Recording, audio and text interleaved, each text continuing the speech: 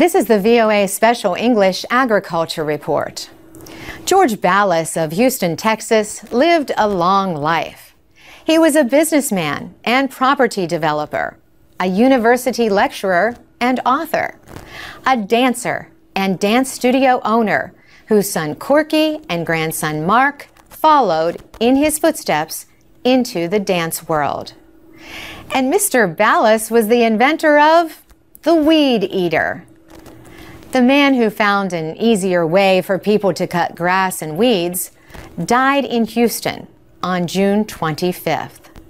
He was 85 years old. George Ballas was born in Louisiana. He joined the military at 17.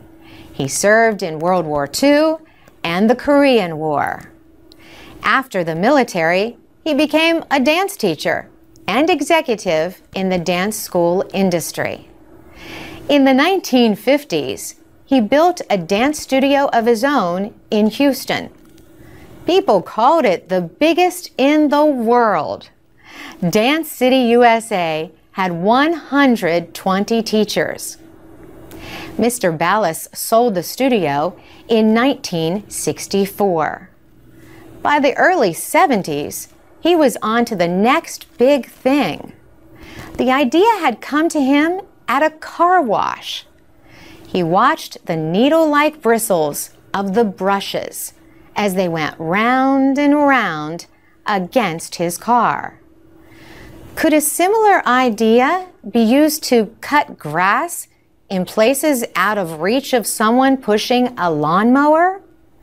To find out, he placed lengths of fishing line through holes in a tin can. He attached the can to the spinning part of a motorized grass edger. The result? A revolution for millions of people who cut grass for a living or just to keep their neighbors happy. George Ballas became known as the Weed King. And he once told the Houston Chronicle, a weed eater comes along once in a lifetime. His invention grew into a company which he later sold. Today, his idea lives on in a new generation of string trimmers and edgers that people often call weed whackers. The noise may not be the nicest, but neither is a loud mower. Trimmers work well in corners and along walls and fences. They also avoid the use of chemicals and the labor of pulling weeds by hand.